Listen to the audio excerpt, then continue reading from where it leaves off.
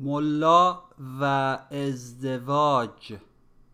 روزی از ملا پرسیدند شما چند سالگی ازدواج کردید؟